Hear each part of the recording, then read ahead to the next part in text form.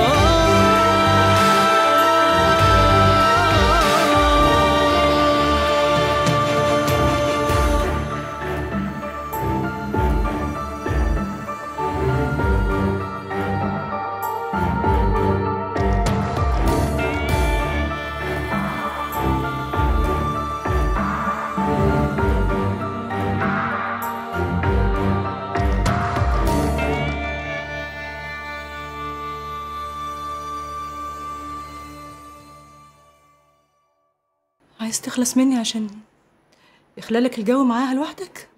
إيه الكلام اللي انت بتقوليه ده؟ يا بنتي بقول لك مشروع العمر. أنا فضلتك انت بالذات دولا عن زمايلك في الشركة. يعني أنت هتكوني هناك لوحدك. الكلمة الأولى والأخيرة ليك انت محدش له سلطان عليكي. تقومي تقولي لي مش عارف إيه. عيب الكلام ده يا نوح ده مشروع تأميني منه مستقبلك. مش عايزة حاجة.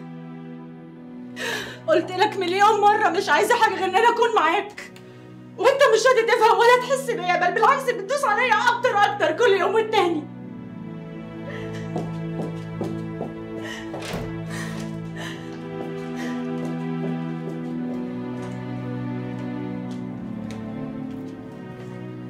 يا نهى مالها ولا حاجة. افتكرت إن أنا هحلها. اتريني عقدتها. هي باين إنها هتتعقد ستين عقدة. إيه، هشام كلمني. كنت حاسس. قال لك إيه؟ جوزنا يعرف مكانها. أنا كنت متوقع اللحظة دي. طب هنعمل إيه دلوقتي؟ هنبلغ البوليس؟ هنبلغ البوليس نقول له إيه؟ نقول لهم إن جوزنا جاي يقتلها. وإيه الدليل؟ طلبت منه الطلاق رفض يطلقها. هربت قرر إنه يقتلها. عارف. بس مفيش دليل. عندك حق. ما هي دي المشكلة. مفيش أي دليل. هي دي المشكلة. هتبلغي عن إيه؟ وعن مين؟ وبناء عن إيه؟ ولا حاجة. هنفترض حتى إن إحنا حطينا اسمه في المطار عشان نمنعه من دخول مصر. إيه السبب الجوهري اللي يقتنع بيه أمن المطار وما يدخلوش مصر؟ ولا حاجة. بس هو كده ممكن يقتلها فعلا. وده اللي مش مخليني عارف أنام. طب هو هيعرف مكانها إزاي؟ إذا كنت أنت شخصيا مش عارف مكانها. هو ده بقى اللي في إيدينا اللي لازم نشتغل عليه. إن نايا تفضل بعيد ومتخفية. أيوه بس لحد إمتى؟ مش عارف. بس اللي أنا أعرفه إن عاصم مش لازم يوصل لها. ربنا يستر. ربنا يستر. حاسس إن أنا في كابوس. هتروح إن شاء الله. عن إذنك أنا يا فندم. تفضلي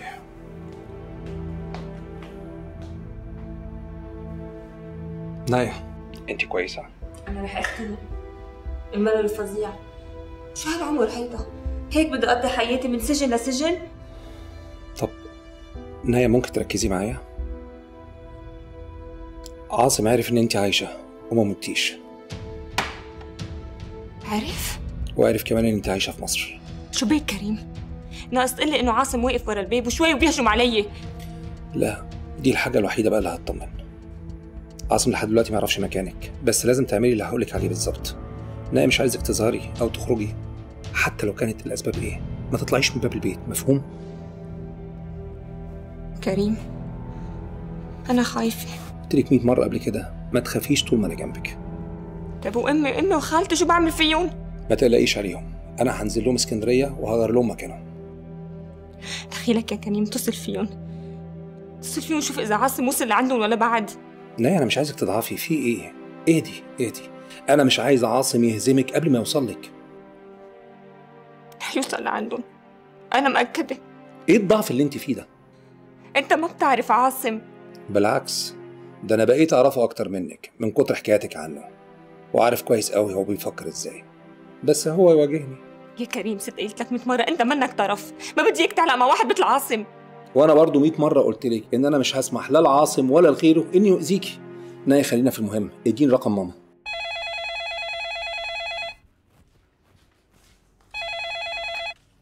ألو. إزيك يا ست الكل؟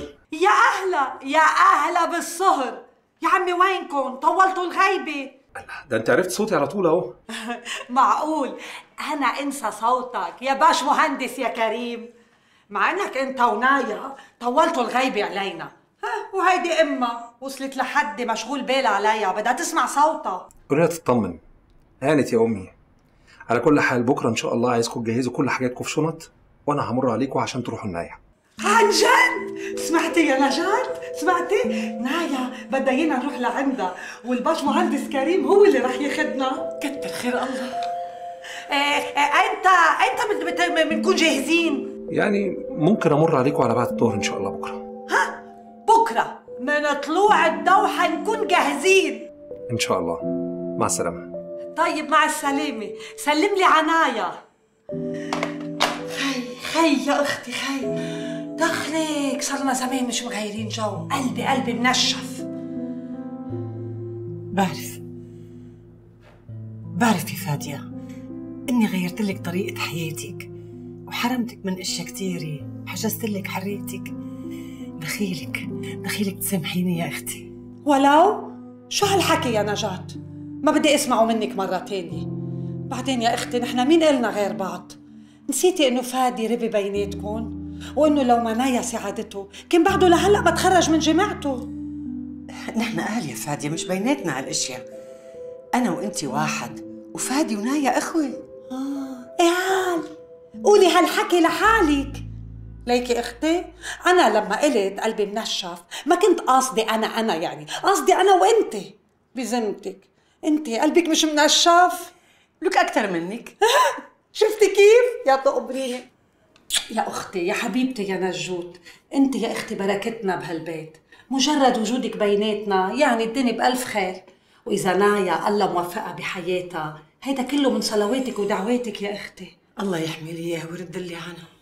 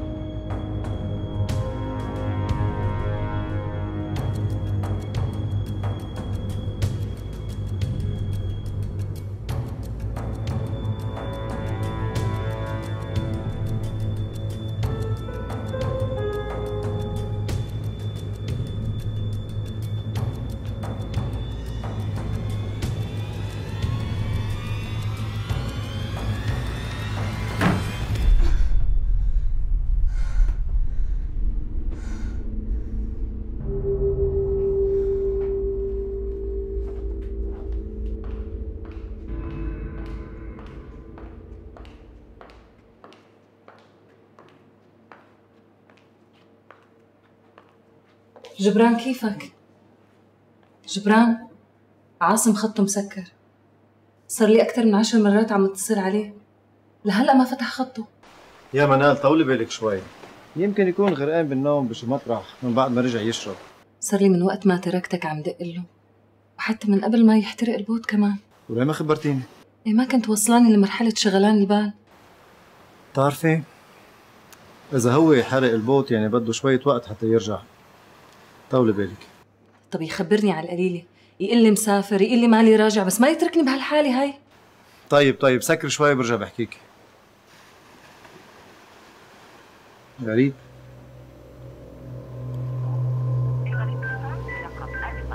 العمى. كمان شهرزاد مسكرة خط. بدهم يكونوا ظهروا شي مطرح مع بعض وما في إرسال. خطهم مسكر. وبركي. لوين؟ ما بطول.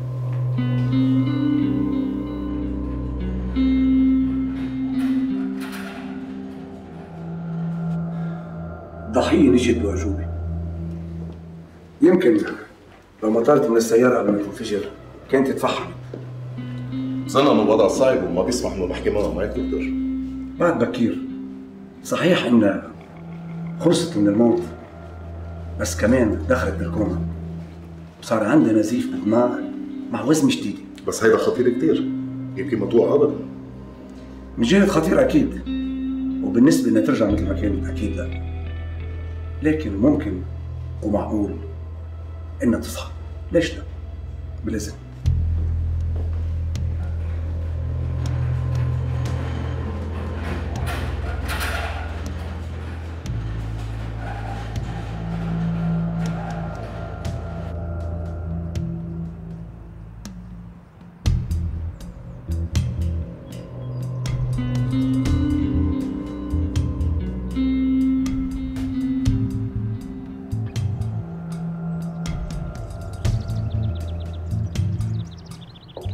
خير شو صاير؟ أنا المحامي وديع سكاف شرفنا أستاذ المدام عملت حادث خطير وأنا رايح هلا لعندها على المستشفى لنشوف شو بدنا نعمل حادث شو؟ حادث سيارة الله ستر كانت راحت فيها مثل اللي كان معه ليش مين اللي كان معها؟ مسيو عاصم عاصم؟ أنتم متأكدين من هيدا الشيء؟ كيف لكان ما طلعوا سوا من هون طب وليه حتى خبروكم لإلكم وما خبروا أهله لعاصم؟ لأنه قدروا ينقلوها بس مسيو عاصم الهيئة علقان بالسيارة المحروقة والسيارة علقانة بين الصخور. بس الست شهرزاد طارت من السيارة قبل ما تحترق. تأكدوا من هويتها؟ تأكدوا إنه هيدي إياها شهرزاد؟ شوف النصيب. كانت معلقة جزدان برقبتها وقت طارت من السيارة بقي معلق فيها. ولقيوا بقلبه السلولار. كنت أنا آخر شخص حكيت معه. كرمال هيك خبروني أول واحد. افتكروني بقربها. ما كانوا عارفين بعد إني المحامي. كيف عرفوا إنه هيدي سيارة عاصم؟ أنا خبرتهم. منال. منال.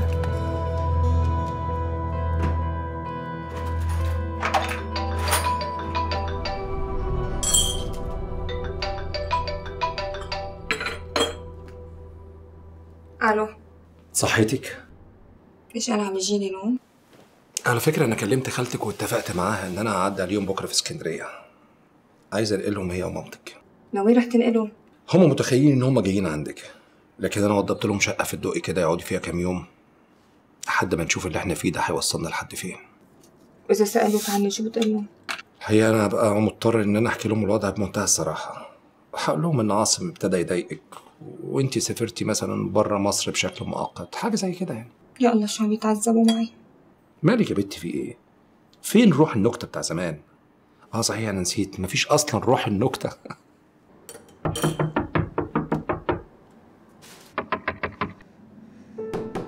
كريم. في حدا عم بدق على الباب. إيه المشكلة يعني؟ أكيد حد غلطان في العنوان. أكيد عاصم. نايا عاصم لو عرف انت ساكنة فين مش هيضرب الجرس. ده هيكسر الباب ويدخل الشقة. يا كريم عم بوقف دق طيب ممكن بس تروح كده بهدوء وتبص من العين السحرية؟ لك ليش أنا قادرة أتحرك من محلي نايا ما هو مش هينفع كده. وقف دق لحظة. في حدا عم يبعد؟ الحمد لله. نايا انت كده بتقلقيني. وبعدين خلي بالك انت بعيد جدا انت في شرم الشيخ يعني صعب اكون جنبك وقت ما تحتاجيني. معك حق أنا بعتذر. أنا مش عايزك تتأسفي. أنا عايزك تكوني قوية. عايزك ناية بتاعت زمان. ناية الواثقه من نفسها الفخورة بشغلها الجامدة. ناية اللي ارتكبت أكبر مغامرة بشرية. ناية اللي أقنعت الناس كلها إن هي غرقت وهي أصلا معلمة في السباحة. انت مش ملاحظه ان انت بقيتي بايخة كده ودمك تقيل؟ في إيه؟ معك حق. عن جد حاسة حالي بايخة. ولا بايخة ولا حاجة. أنا عايزك تطمني وتهدي. اطمني. أنا جنبك.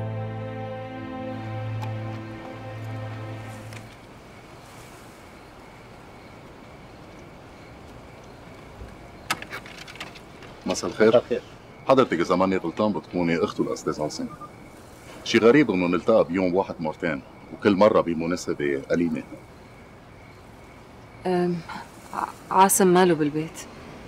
صار لي من الصبح عم أحكي وخطه مسكر. يا ترى وين بيكون؟ ما بعرف. مع إنه له بالعادي يخبرني. سيارة الأستاذ عاصم عملت حادث وتهورت بالوادي منال لحظة شوي حبيبتي لحظة. مو كولونيل إذا صحيح اللي سمعته إنه سيارة الأستاذ عاصم تدهورت واحترقت. أنتوا كيف عرفتوا إنه هيدي إياها سيارة عاصم؟ صحيح انه في صعوبه برفع السيارة بس واحد من عناصرنا قدر ينزل لها بتوافة الجيش. وقدر يفحصها ويحصل على نمرتها ورقم الشاسيه. ومن هون قدرنا نتأكد. وعاصم وضعية السيارة ما سمحت لنا أن نشوفه حتى نطلعه بس المحاولات مستمرة. دخيلك يا ربي ربي دخيلك حبيبتي شوي شوي شوي شوي شوي. نحن بنعتذر على الموقف بس واجبنا نخبر بالإذن. العمر إلكم. بس نعرف أي جديد بموضوع السيارة رح نخبركم شو رح نعمل. جبالنا حلوة بس خطرة بالإذن. إذنك معك. حبيبتي راح أخي راح أخي يا جبران راح أخي الوحيد. ما صفي عني حدا من أهلي. كل راح وراح أخي. في أنا يا منال. وأنا شو؟ أنا خيك وبيك وعائلتك. طولي بالك تقوى بتتقوى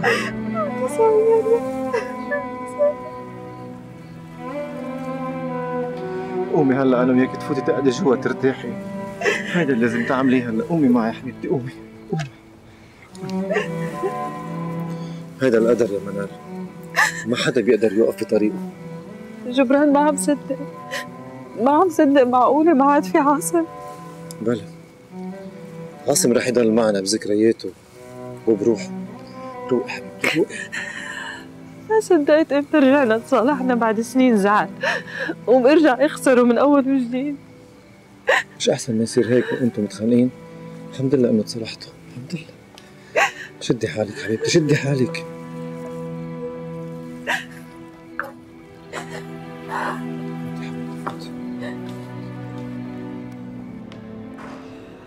معقولة؟ أنا مش قادرة أصدق. بعد كل اللي عملته علشانه. بعد كل اللي استحملته منه. عايز يحدفني بالأقصر لا وإيه؟ عايز يفهمني المشروع الأوتيل الفرعوني ده إيه؟ أهم مشروع في حياتي. معلش يا نهى يمكن هو شايف إن مصلحتك هناك. لا مش مصلحتي يا طارق. أنا مصلحتي هنا وجنبه عشان أنا بحبه. ما تزعليش مني يا نهى فرصة زي دي ما تتعوضش. كفاية بقى جري ورا أوهام. خليكي واقعية. أنا لو منك ما اسيبش مشروع زي ده يضيع من إيدي ابدا ومين قال لك إن أنا عايزة مشاريع؟ أنا مش عايزة مشاريع ولا عايزة فلوس أنت ليه معتبر إن المشروع ده أهم من مشاعري؟ طب أنتوا ليه مستكترين عليا إنه كريم يحبني يا طارق ليه؟ هو أنا ناقصني إيه طيب؟ وليا أحسن مني بإيه؟ هو كان ماشي كويس معايا لحد ما هي ظهرت خلاص بقى نهى الحكاية دي راحت لحالها وجوه في طيلك هو لو كان عايزك بجد وبيحبك بجد ما كانش حد هيقدر يمنعه. أنا مش قادرة أصدق إنه عايز يبعتني الأقصر شفتي بقى؟ يعني نايا ملهاش دعوة. شيليها من دماغك بقى.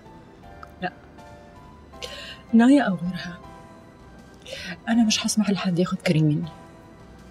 من الآخر كده يعني مش هخليه يتهنى بعمره. يعني أفهم من كده إنك مش هتروحي مشروع الاقصر أنا لا هروح مشروع الأقصر ولا هروح غيره. هفضل قاعدة هنا في القاهرة ومش هسيب الشركة كمان. آه بس أنت كده بتضري نفسك. مش مهم. أنا حر. أمال جبتيني ليه على ملا وشي يا بنت الناس؟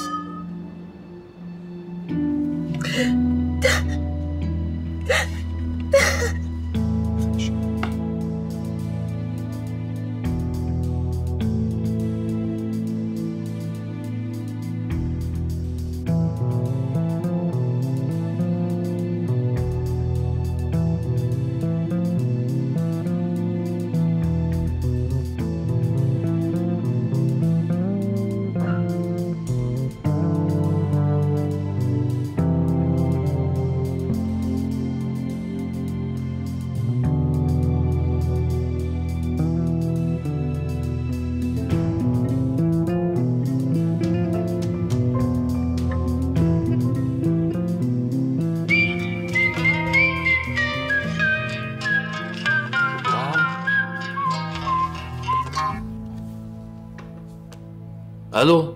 ألو bonsoir فارس. آه، معك كابتن جبران. بعرف بعرف. شفت الاسم هلا قل لي كيفك؟ من زمان ما حكيتني.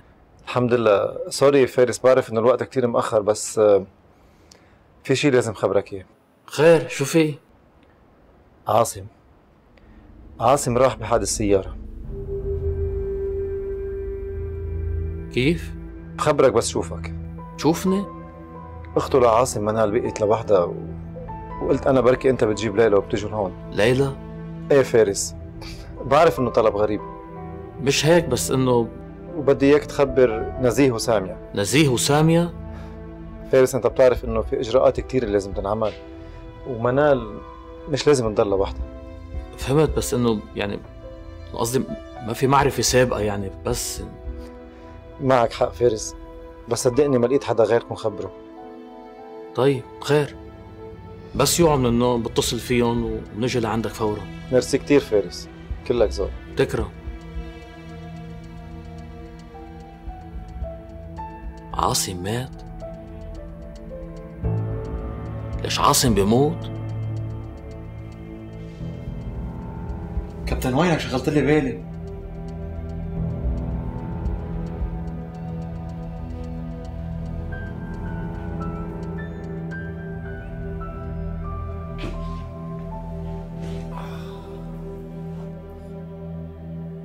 عاصم مات.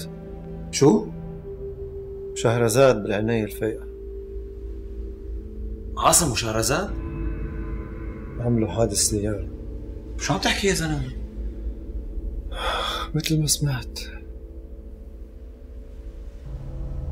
نايا لازم تعرف. بعرف. كرمال هيك تركت منار وجيت حتى خبرك. خوت بتعرف ان هشام خبره هلا بعد نص ليل دق له إذا ما رد بعت له مساج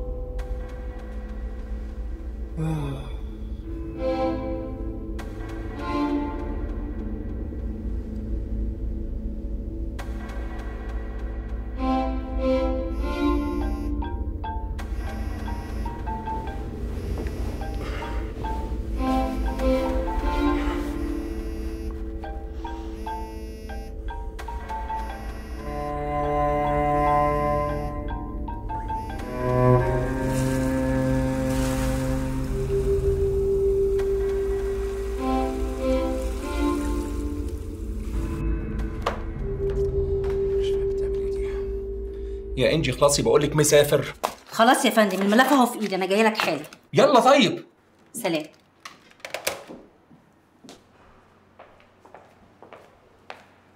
bonjour. bonjour أهلا. آه كيفك أنجي؟ آه الحمد لله. ثانية واحدة آه آه، ثانية واحدة. آه تشرب آه، قهوة؟ آه لا لا ميرسي بس إذا الأستاذ كريم هون أنا لازم أشوفه ضروري. آه هون هون هون. آه ثانية واحدة أديله خبر وراجع لك على طول. ثانية واحدة.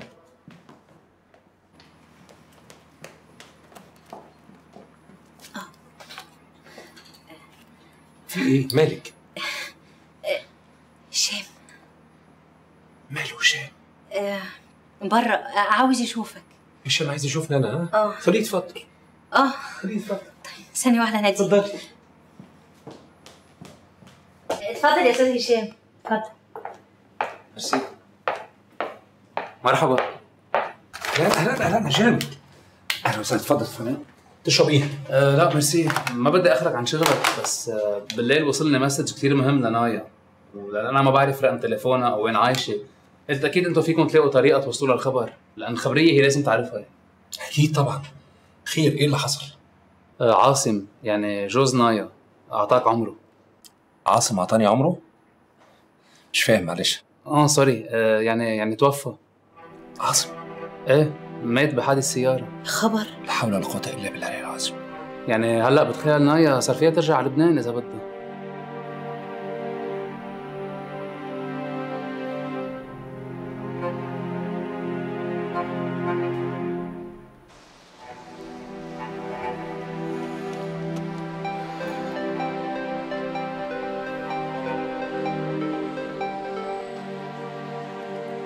إيه فارس. شو بدك؟ ما تقلي هلا عم تلفن تعتذر من وعد ما خربتها بيني وبين مرتي. لك أي اعتذار يا زلمة؟ أنت وين والدنيا وين؟ في شيء أهم؟ والله؟ أهم من إنه ينخرب بيتي؟ عاصم. شو بدنا بسيرته هلا أنت؟ ما هي ما بقى حتسمع سيرته بالمرة لأنه خلص. خلص؟ شو يعني خلص؟ حاسس حالي أنا وعم خبرك رح أرجع اتفاجئ مرة تانية. مات يا زلمة. مات. مين اللي مات؟ مش عم بفهم عليك فارس. مين؟ عاصم عاصم. عم تتساءل؟ أكيد عم تتساءل. بشرفك بلا ما اصحك على الصبح ما قلي جليتك صدقني أنا متفاجئ مثلك بس هذا اللي صار. الزلمة مات. طيب آه، أنت وين هلأ؟ وين بدي يكون بالمكتب. ما هو قبل ما يموت حرقها وقعد على تلتها فكرك استرب بيتك لحالك. طيب طيب اسمعني. اوعى تتحرك من مطرحك. أنا جاي لعندك. طيران. يلا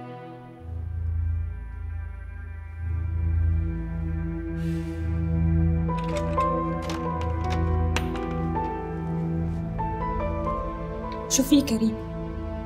شو هالشي اللي كتير مهم ما قدرت تقلي اياه على التليفون؟ طب قولي لي اتفضل الأول تفضل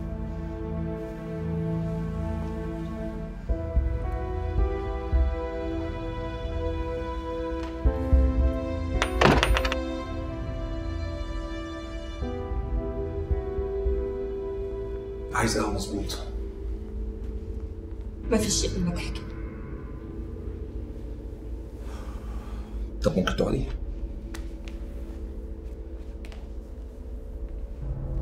في أخبار جديدة عن عاصم طب احكيه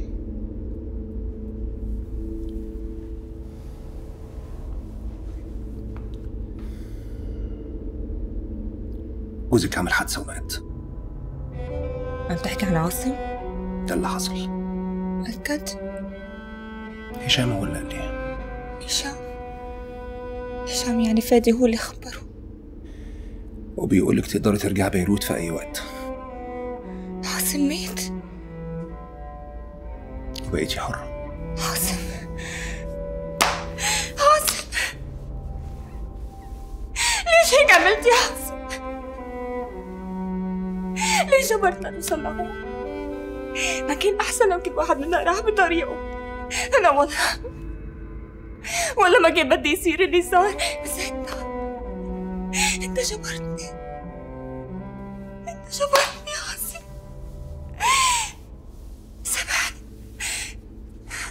عاصم سامحني. سامحني إذا أذيتك. سامحني إذا جرحتك. عذبني كتير عذبني. انت اللي تغيرت وغيرتني معك.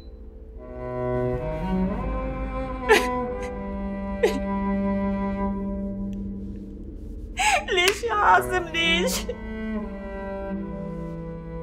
ولا ما كان في أحسن منك رجال ولا أكرم منك رجال كنت شوف حالي فيك. كنت محسودة عليك. عشت معك أسعد أيام حياتي. وقت ما اكتشفت إني سجينة. وأنت سجين. اكتشفت إنه حياتي الزوجية كانت مسرحية. مسرحية. مجرد هالجمهور يوصل على بيته وضل أنا وياك لوحدنا كانت هالمسرحية تقلب لجحيم. لبوس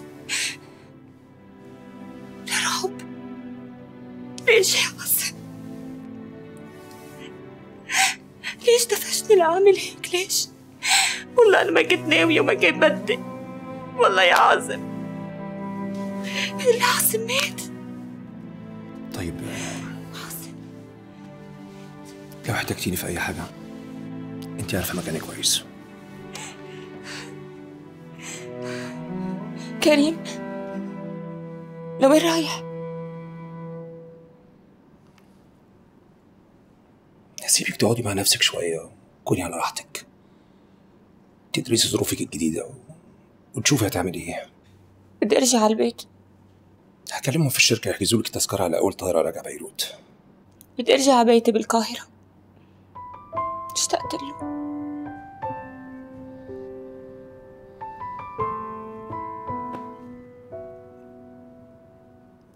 وأنت كمان وحشتيه قوي إنه بشرفك. كيف بدي اقنع سامية؟ ما هي تركت البيت من ورا عاصم ونايا؟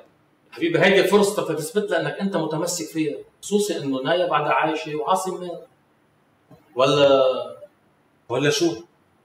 أنا صراحة شايفها فرصة اجتك هيك على طبق من فضة. لك شو طبق فضة وطبق ذهب أنت؟ عن شو عم تحكي؟ يعني سامية زعلت وتركت البيت وعاصم الله يرحمه. إيه. يعني فضيت لك الساحة. لا. أكيد أنت بيك شي براسك فارس. عزيز شو باكلوا مكتب فاضي ما في حدا عم بيتسمع لنا ما تكون قلتلين هم إنه حدا يسمعني يعني. هلا أنت نسيت وبدك ذكرى. لو ما كنت تشكي لي وتنقل لي قلبي كنت تعمل لي قلق. هيدا كان زمان فارس. أنا هلأ ما فرقانه معي إلا إنه مرتي ترجع لي على البيت وابني يربع إيدي. يعني نايا خلص خلص من زمان. أصلا وقت سمعت إنه بعدها عايشة فكرت شو هالانسانه الأنانية. ليك إذا بدك رأيي ما بيجوز اللي عملته مع عاصم لو قد ما كان ظالم معها ما بيجوز. هيدا الناحية كلنا أكلناها. وأكثر شيء ليلى. يا حرام. شو؟ حرام وما حرام. هي حناينا جتني فكرة. هات يا أبو الأفكار قول بندق لسامية وليلى وبنقنعهم يجوا يعزوا. أنا بقنع سامية إنه ترجع على البيت وأنت بتقنع لي ليلى انه ترجع يعني إنه تصالحني. هي تصالحك؟ بدي أرجع. إيه ما بيجوز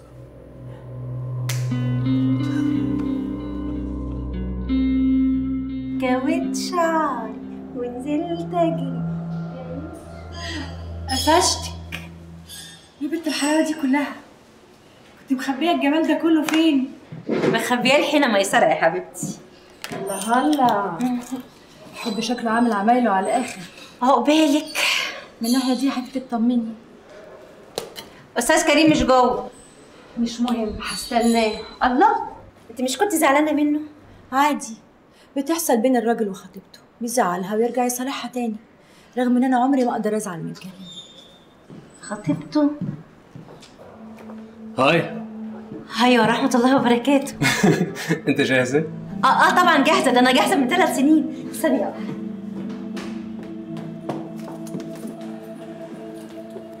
شو؟ جمالك اليوم. عجبتك؟ كتير. ميرسي. ليكي شو عبالك ناكل؟ بدك لبناني أو ايطاليان أو سوشي؟ لا لبناني طبعا. يدلي يدلي على اللبناني. ما علي دلي شوف بقى أنا عايزاك تأكلني تبولة. تبولة؟ تبولة وكبة وحمام محشي. شو؟ عندكم حمام محشي؟ لا متاكد بدك لبناني؟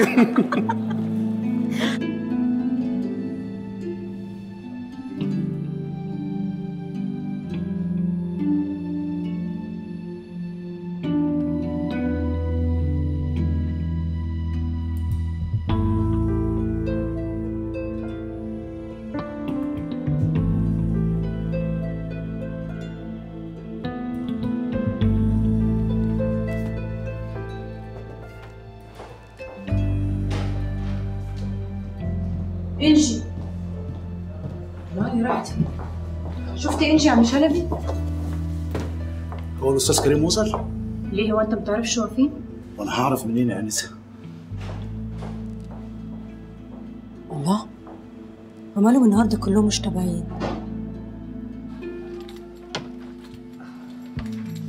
تفضلي نورتي بيتك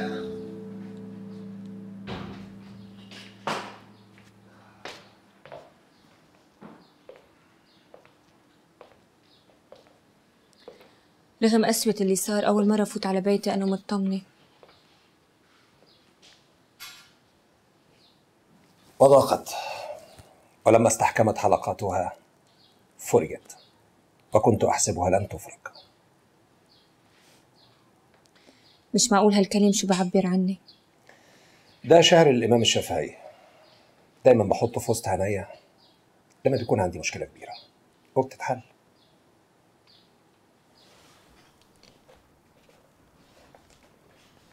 أنت اسمك كريم الشافعي.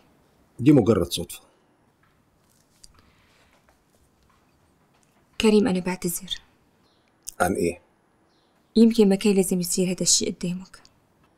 اللي هو إيه؟ يمكن كان لازم أبكي على عاصم لوحدي. يمكن ما كنت بتوقع بعد كل شيء عملته لحتى أهرب منه وإني أزعل عليه هالقد حتى أنا ما كنت متوقعة بس هيدا اللي صار. احترق قلبي عليه يمكن لأنه في عشرة بيناتنا. يمكن لأنه في خبز وملح بيناتنا. أنا زعلان منك. أنت مش غلطانة في حاجة. أنا يمكن بس اللحظة يعني فاجئت وحسيت إن أنا راجل غريب ومش من حقي إن أنا أقتحم حياتك وبالذات لحظاتك الإنسانية. وفي حاجات كتير قوي بس بيني وبينك أنا احترمتك قوي استجدعتك واطمنت من ناحيتك. يعني زي ما تقولي كده من الآخر. أنت طلعتي بنت جدعة وبنت بلد أصلي. شكرا كريم. ما بعتقد حدا رح يفهمني قدك؟ ولا يهمك. هسيبك أنا دلوقتي عشان تستعيدي علاقتك ببيتك. ما بدك تشرب قهوة؟ قهوة؟ الله. ما إحنا بنعرف نعمل قهوة أهو. أمال يعني في شرم الشيخ بقول لك عايز أشرب قهوة عملت نفسك ولا كأنك سامعاني يا بنتي ليه؟ بس مش مشكلة عادي. عم تتحداني؟ طيب يا كريم رح تشرب قهوة هلا؟ ما بحياتك شربان مثلها. خلاص تعالي هنا أنا مصدقك. أنا عايزك بقى تجهزي عشان بكرة الصبح في شغل كتير جدا مستنيكي في الشركة. ولا أنت نسيتي؟ لا مش ناسي. كمان اشتقت روح على الورشة. بس بصراحة مستحية كتير من نهى وسليم وطارق. بعد كل يلي صار. ما تشغليش بالك أنا هسوي كل حاجة. والماما؟ أخيرا رح أقعد أنا وياها بنفس البيت. ماما كويس قوي إن أنت فكرتيني. أول حاجة تكلميها وتطمنيها عليكي. وبعدين تعتذري لها بالنيابة عني وتشرحي لها أنا ليه ما عرفتش أروح لها. هلا بحكيها بس كنت ناطرة لحتى أهدى شوي. وكمان لازم شوف هشام. مم. لو عايز تعرفي مكان هشام اسألي إنجي الوحيدة في مصر اللي تعرف كل تحركاته. إنجي؟ طبعا إنجي طايرة بيه معجبة بيه جدا. اف طب وهو؟ ربنا يتولى برحمته. أكيد حد داعي عليه بس مش مشكلة. بس البنت طيبة. وأنت كمان طيبة قوي أسيبك أنا بقى. باي.